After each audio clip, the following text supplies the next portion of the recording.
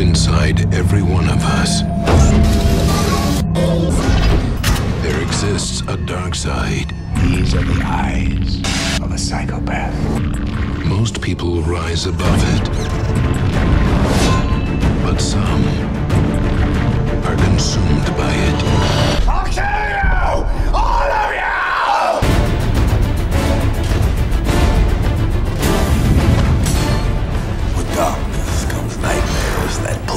Face to face the of death. Most soulless person I've ever met.